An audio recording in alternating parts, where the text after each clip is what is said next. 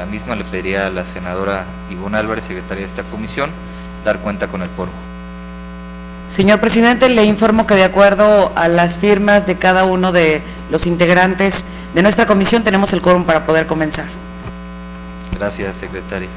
He recibido eh, solicitudes de diversos senadores para poder retirar eh, tres asuntos del orden del día que tenemos eh, en la sesión de hoy.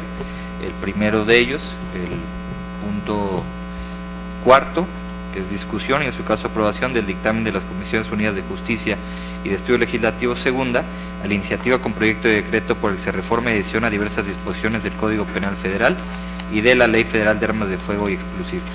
El octavo, que es la discusión y en su caso aprobación del dictamen de las Comisiones Unidas de Justicia y de Estudios Legislativos a la iniciativa con proyecto de decreto por el que se reforma el artículo 28 en su fracción cuarta de la Ley Federal de Responsabilidad Ambiental y el artículo 585 fracción tercera del Código Federal de Procedimientos Civiles.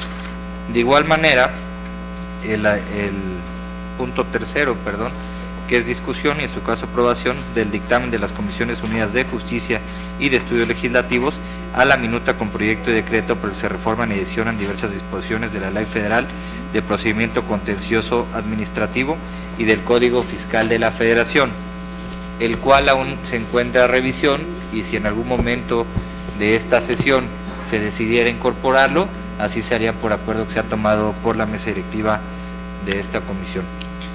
Eh, de estar de acuerdo eh, las senadoras y senadores con el proyecto de orden del día presentado con las modificaciones expuestas, favor de manifestar. Se aprueba el orden del día.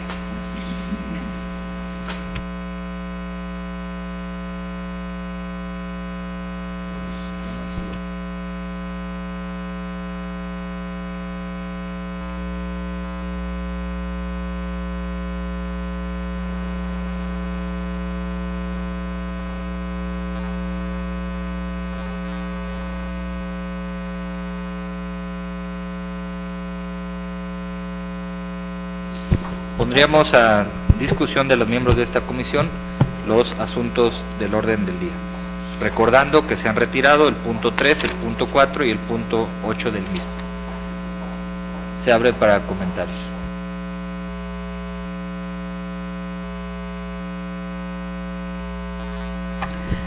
Ninguna intervención, señor presidente. Adelante. Gracias. Al no haber ninguno de los asuntos del orden del día reservados o para discusión, los pondríamos todos a su votación en un mismo eh, caso, con excepción del onceavo, en virtud de que es elegibilidad de candidatos para el cargo de magistrados.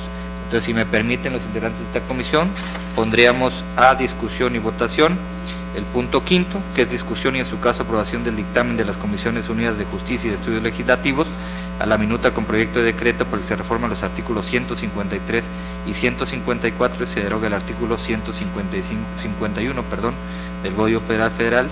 El sexto, discusión y en su caso aprobación del dictamen de las Comisiones Unidas de Justicia y de Estudios Legislativos a la iniciativa con proyecto de decreto por el que se deroga la fracción tercera y se adiciona un último párrafo al artículo 146 del Código Penal Federal.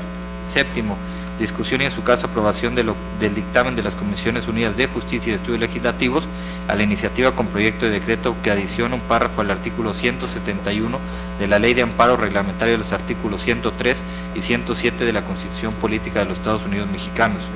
Noveno, discusión y en su caso aprobación del dictamen de las Comisiones Unidas de Justicia y de Estudios Legislativos a la iniciativa con proyecto de decreto por el que se reforma el artículo 288 del Código Civil Federal. Décimo, discusión y en su caso aprobación del dictamen de las Comisiones Unidas de Justicia y de Estudios Legislativos a la iniciativa con proyecto de decreto por el que se reforma los artículos 323 bis y 323 ter del Código Civil Federal. Los que estén eh, por la afirmativa en los presentes dictámenes, favor de manifestar. Quedan aprobados. Pasaríamos ahora a la discusión y en su caso aprobación del dictamen de la Comisión de Justicia por el que se pronuncia sobre la elegibilidad de los candidatos para ocupar el cargo de magistrados del órgano jurisdiccional local en materia electoral del Estado de Nayarit. Hay que recordar que esta convocatoria ya había sido abierta, analizados los perfiles y estábamos solamente esperando la adecuación de la legislación local del Estado de Nayarit. En virtud de que esta se ha realizado, esta Comisión de Justicia tiene eh, ahora facultades o el momento legal para poder pronunciarse sobre la elegibilidad de los candidatos. Lo pondré a consideración de los integrantes de la comisión si es que hubiera algún comentario al respecto.